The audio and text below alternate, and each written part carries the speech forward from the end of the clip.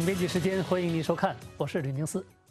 香港特首李家超在他任内第一份施政报告中，推出一系列抢人才政策，包括成立人才服务窗口，统筹招揽内地及海外人才；新推出的高端人才通行证计划，希望每年能吸纳三万五千名人才，对象是年薪二百五十万元或以上、毕业于全球百强大学人士。输入人才清单上的短缺专业或年薪二百万元以上的职位。另外，港府新成立的三百亿港元的共同投资基金，投资落户香港的重点企业，包括生命健康科技、人工智能与数据科学、金融科技、先进制造和新能源科技等策略产业。政府提供一站式的服务，包括申请签证、子女教育安排等。李家超表示，政府会让更多来港参与短期活动的访客不需要申请工作签证，也计划取消优秀人才入境计划的年度配额，放宽本地大学的非本地毕业生留港和回港的政策，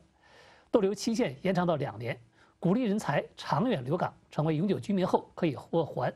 两项置业印花税。好，看看今天的主要新闻，英国首相特拉斯。二十号在唐宁街首相府发表声明，宣布辞去英国保守党党魁职务，也就是将辞去首相一职。他表示，他将继续担任首相职务，直到保守党选出新党魁。特拉斯担任首相前后仅四十五天，他将成为英国史上在任时间最短的首相。他强调自己出任首相的时候，是否英国经济长期低迷以及国际局势不稳。I recognise, though, given the situation,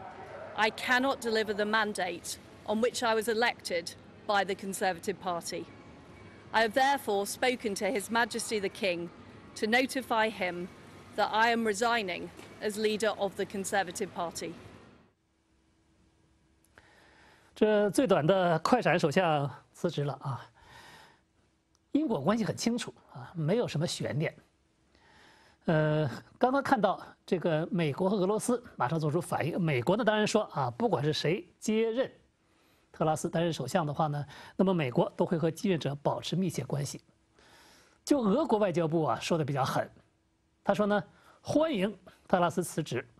并且形容他是一个灾难性的文盲。为什么这样说呢？因为在他一月份当外相的时候和这个拉夫罗夫见面，他把俄罗斯的两个州呢。当成乌克兰的领土了。好，说到这个 乌克兰呢，我们继续来谈俄乌战事。俄罗斯继续的打击乌克兰境内的军事和能源基础设施。乌克兰全境二十号早上继续的拉响防空警报，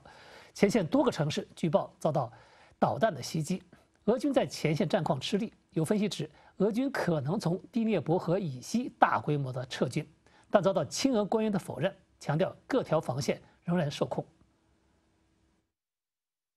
南部的尼古拉耶夫报称，二十号早上遭俄军 S 三百导弹袭击。地方官员说，袭击未造成人员伤亡或其他破坏，只是损坏了草坪。有当地居民在空袭声中享受日光浴。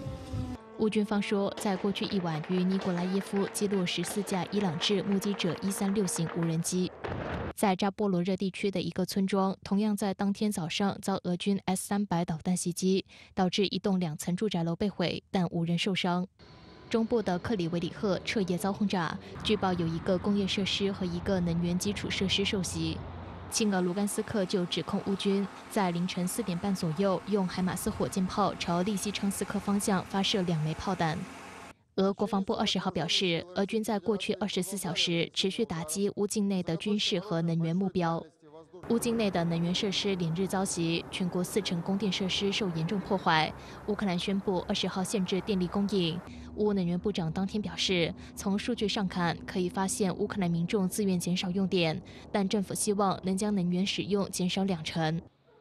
另一方面，乌军在前线步步紧逼，在南部的赫尔松地区，过去几周，俄军已被逼退二十到三十公里，地方当局正组织数万名平民撤离。乌克兰国家核电公司二十号声称，败北的恐慌情绪蔓延，俄方正在掠夺并连夜转移扎波罗热核电站所在城市埃涅尔戈达尔的物资，然后撤离。英国情报部门认为，俄当局正考虑从第聂伯河以西进行大规模撤军。由美国军事智库则分析，俄方正策划对卡霍夫卡水电站发动假期攻击，以掩护俄军撤退，并阻止或延迟乌军渡过第聂伯河。不过，赫尔松亲俄官员坚称，地区各条防线仍处于控制之下，乌军未向前推进一步，俄军也没有撤退，并只计划击退乌军在赫尔松地区的反攻后，对尼古拉耶夫、敖德萨以及第聂伯罗彼得罗夫斯克发起反攻。俄国防部当天则表示，俄军在一天内摧毁了乌克兰在赫尔松以及哈尔科夫的三处指挥部，同时摧毁乌军在顿涅茨克地区以及赫尔松地区的五个临时部署点。凤凰卫视综合报道。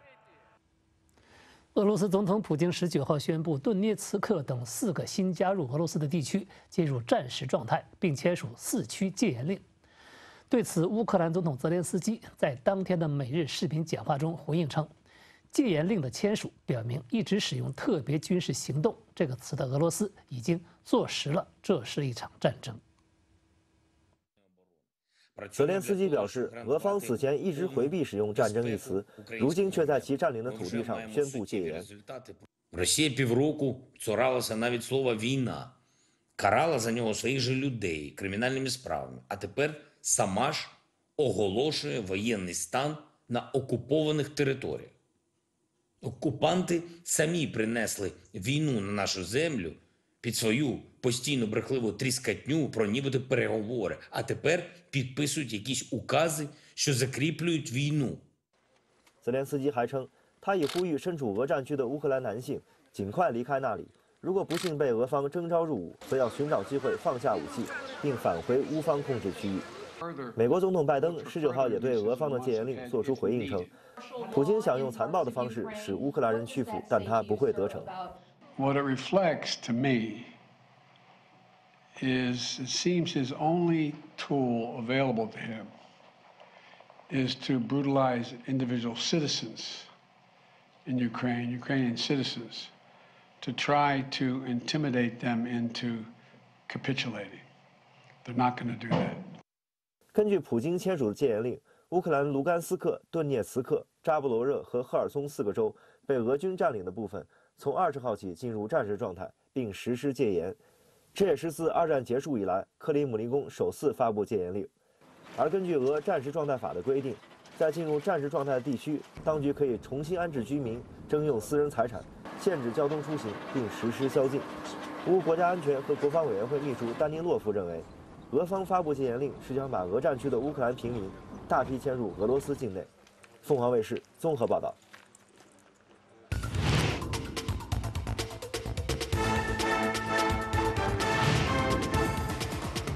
这种战时的戒严或者叫军事管制啊，呃，二战以来这是第一次，那说明确实是一种很紧急的情况下，战争情况才能够来实施的。那么昨天我们谈到这个戒严令，它最后会有怎样的一种意义和后果呢？首先我们要看戒严令的内容。这个戒严令是根据俄罗斯有个戒严法来实施的，戒严法里边是有具体内容的，包括晚上要实施宵禁啊。还有对任意的这个汽车可以实施检查，让你停下来你就停下来。再有呢，就是对这个人员进行大规模的迁移，还有呢就是对这个一些财产的没收啊，当然是有针对性的。那么当然对于外国人可以拘留，还有要可以设立各种检查点。那么也就是说边境的控制呢，是完全掌握在军法之下。这里边最受关注的、最引人注意的呢，就是他们会不会这样借着这个戒严令。把这个原来现在被占领区的很多乌克兰的居民来强制性的来迁移到俄罗斯的境内啊！现在俄罗斯人口也需要嘛，而且俄罗斯这个乌克兰人都是讲俄语，再就是呢那边本来有很多是俄罗斯人，那么在这种情况下呢就强制性的，所以说呢这个泽连斯基马上警告说，如果被你你被这个强制性的这个呃给征兵呢，你可以投降；那么要强制性的拉走呢，我看这就有点不太容易了。其实以前在苏联的历史上有过这种这个整体的行政的大迁徙，比如一九三七年，当时呢俄罗斯和日本的关系很紧张，那么这个内务部内务委员会啊就向斯大林报告说，在这个远东，那边的朝鲜人，就是大批朝鲜人呢，他们当中有通日的人，有日本间谍。于是呢，就斯大林按照他们建议，就下一个这个最高指示、最高指令，就把远东的大批的这个朝鲜族人，他们叫高丽人，给你三个选择：一个是迁到满洲啊，这个所谓日本的这个呃占领的满洲国；还有呢，到这个朝鲜，就是日本占领的朝鲜；再有呢，你如果不愿意去这两个地方，全部迁移到哈萨克斯坦一些无人地区。一九三七年迁到哈萨克斯坦的有。十七万一千七百多人啊，有具体数字的，所以你现在到哈萨克斯坦那边有很多像我们这个我们这样面孔的啊，是朝鲜人啊。我我在车臣的时候都看到过，他是这个东方人，就是当时迁徙过去的。那么在这样一种情况之下呢，这个戒严令会影响到多少层面？现在还有传言说它可能会影响到俄罗斯国内的两大联邦区，一个联邦区就是包括莫斯科在内的。叫中央联邦区，中央联邦区有十七个州，加上一个直辖市莫斯科市，所以有人说到明年一月份，莫斯科可能也要实行戒严令啊。当然这是一个传言了，或者是谣传。还有就是和这个乌克兰接壤的南部联邦区，加起来呢涉及到二十六个州，那么也就是俄罗斯整个的国土面积的三分之一。换句话说呢，在九月份宣布的叫部分动员令，结果成了。全国的这个动员令啊，那么这次的戒令会不会影响到俄罗斯的国内，也成为啊至少欧洲区这个中央区、中央联邦和南部联邦区的一些地区的这个戒严呢？也不能够排除，因为在现在对于俄罗斯来说呢，这个进行严肃的法律管制啊，这对于它的社会稳定、对于战争的调度啊。呃，或者是这个，嗯，最后挽救局势呢，才是最重要的。所以说，现在俄罗斯的民间呢，也引起了一些恐慌。好，继续看，乌克兰近日多次的指控说，俄罗斯使用伊朗制造的无人机对乌克兰多地发动袭击。那么，俄罗斯常驻联合国副代表布里扬斯基十九号就公开回应说，俄军在乌克兰使用的无人机是俄罗斯制造的。美国方面就表示严重的关切伊朗军援俄罗斯一事，并且对欧盟制裁伊朗表示欢迎。针对日前乌克兰和美西方指控俄罗斯使用伊朗生产的无人机对乌克兰平民及基础设施发动袭击，俄罗斯常驻联合国副代表波利扬斯基予以否认。I would like to stress that the UAV is used by the Russian army in Ukraine are manufactured in Russia. So these are all baseless allegations. We have our drone industry, which produces uh, the things that we need for this campaign, and all these allegations uh, are entirely uh, on the conscience of our Western colleagues. 波利扬斯基还希望联合国不要参与任何不合法的调查，否则将不得不重新评估俄罗斯同联合国的合作。欧盟日前透露，正在搜寻伊朗参与俄乌冲突的具体证据，以便对伊朗实施制裁。美国方面指出，已同英国和法国在十九号的安理会会议上，就伊朗军援俄罗斯事宜提出严重关切。We would welcome the EU sanctioning Iran for supplying weapons to Russia, and we are aware of reports that the EU is is considering these actions. And also, I would again note and reiterate that the United States itself uh, continues to have uh, tools at its disposal uh, that are practical, that are aggressive, that are useful uh, in holding Iran accountable. And you 伊朗方面则多次强调，没有向交战的任何一方提供武器。凤凰卫视综合报道。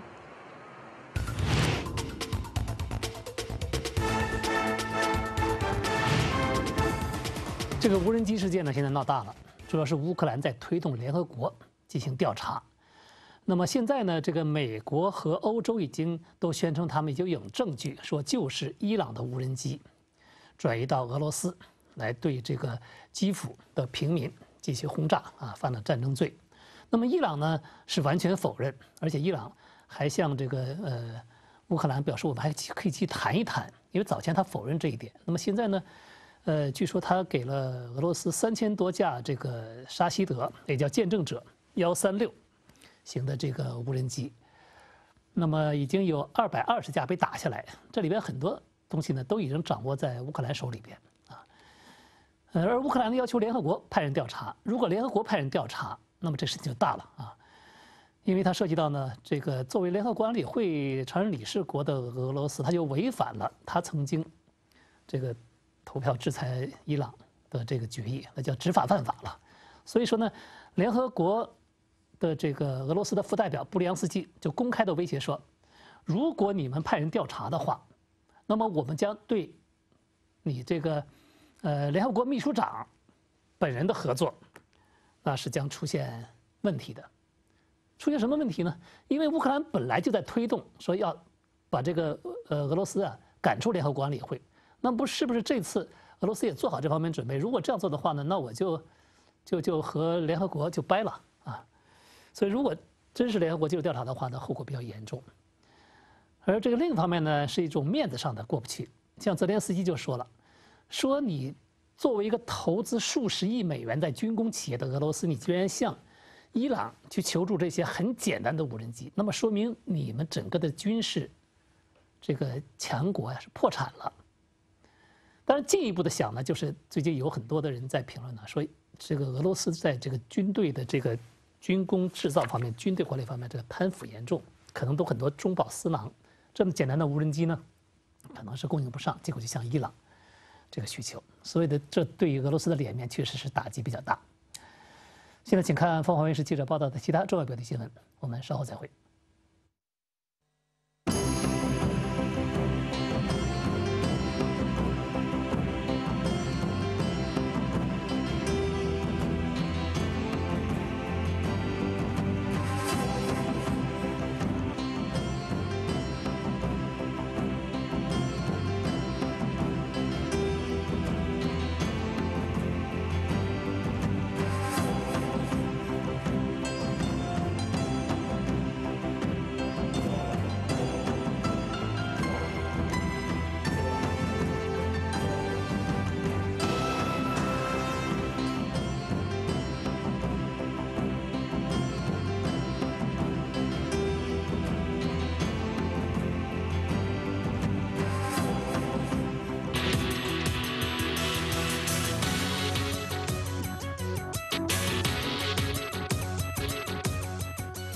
回到总编辑时间，我是吕宁思。对于有媒体报道称，拜登政府正在考虑与台湾联合生产武器的计划，以加强台湾的军事威慑能力，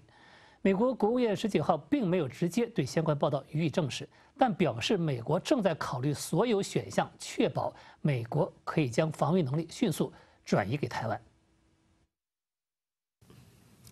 日经新闻十九号报道称，有知情人士透露，拜登政府正在考虑与台湾联合生产武器，旨在加快美国对台湾的武器转让，提高台湾的威慑力。对此，美国国务院并没有证实，但表示美国正在考虑所有选项。Uh, I've seen I've seen those reports. I don't have any uh, anything specific to to offer as it relates to them. But what I would say broadly is that the U.S. is looking. Uh, at all options on the table to ensure that the rapid transfer of defense capabilities to Taiwan can take place uh, as swiftly as possible. And consistent with the Taiwan Relations Act, as you know, we have made available various services and defense articles uh, for Taiwan's security. And uh, the swift provisions uh, of these technologies and these services uh, we believe are essential uh, to Taiwan's security. 自二零一七年以来，美国总统已经批准了对台出售超过两百亿美元的武器，但由于供应链危机以及俄乌冲突，导致部分武器系统交付延迟。美台商会主席韩如博表示，这仅仅是一个开始，目前还没有确定哪些武器将作为联合生产计划的一部分。但美国可能专注于为台湾提供更多弹药以及长期建立的导弹技术。韩如博还指出，任何类似举措都需要武器制造商从各州和美国国防部获得联合生产许可证。由于对外出售关键技术的敏感性，美国政府内部可能会抵制这项努力。中国外交部在本周曾谴责美国违背一中政策和中美三个联合公报的诺言。美方承诺逐渐减少对台售武，并经过一段时间得到最后解决。但实际上，中美建交以来，美国对台售武的规模和性能不断提升，总额已经超过七百亿美元。凤凰卫视王斌如、王天意华盛顿报道。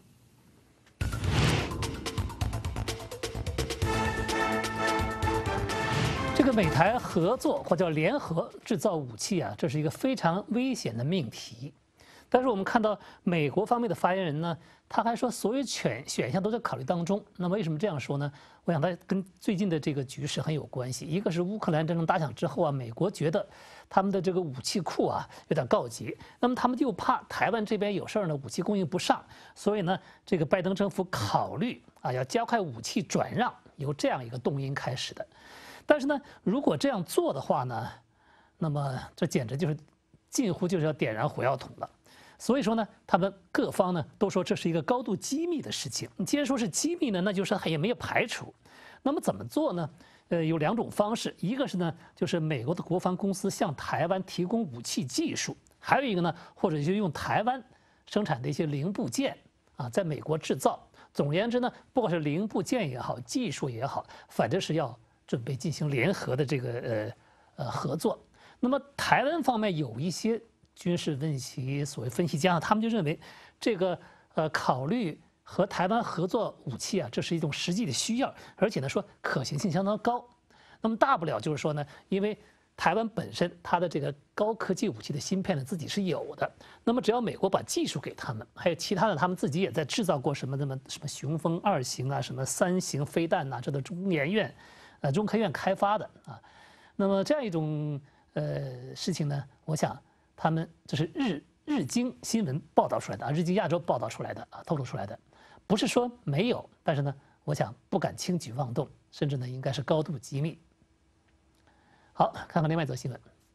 澳大利亚和斐济二十号签署了防务协议，允许两国互派军队到对方国家共同开展行动。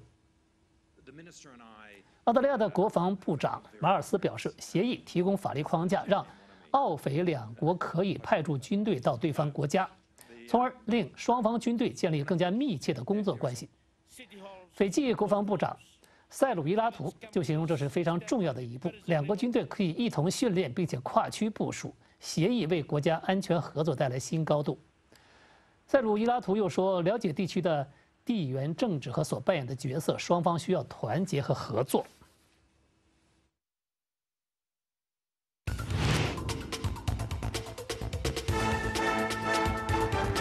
澳大利亚现在是加紧构建、构造一种南太平洋的安全链啊，因为他们感觉到自己的安全呢是受到威胁。其实呢，在这个澳大利亚的国防部长，他这个。正在到这个巴布亚新几内亚访问，和巴布亚新几内亚也在商讨签签呃这个签署啊安全合作协议，而在正在他到巴新啊巴布亚新几内亚访问的时候呢，和斐济先签了协议了。那么南太平洋国家靠近澳大利亚的最近的这两个国家呢，一个是巴布亚新几内亚，一个就是斐济。那么这两个国家呢也算是南太平洋呃比较大的一个国家。那么这个由头呢是去年到今年关于所罗门群岛啊中国的帮他们建立一些这个安全。呃，设施引起来的，于是呢，美国啊就很紧张，告诉澳大利亚、新西兰，本来南太平洋呢应该是你们的属地，你们现在呢自己啊不努力啊，不抓紧，结果呢就是这个中国就有机会到南太平洋来，所以现在呢可以看到，这个澳大利亚呢现在开始啊抓紧了啊，不要无作为嘛，他就开始有作为了，说先和这个斐济啊，然后呢再和巴布亚新几内亚。在签署防务协定，那么和其他的一些小的岛呢，可能也签署啊，无非就是给钱嘛。好，那么最后呢，请您浏览世界其他媒体的主要新闻报道。今天的总编辑时间就到这里，感谢您的收看，我们明天同一时间再会。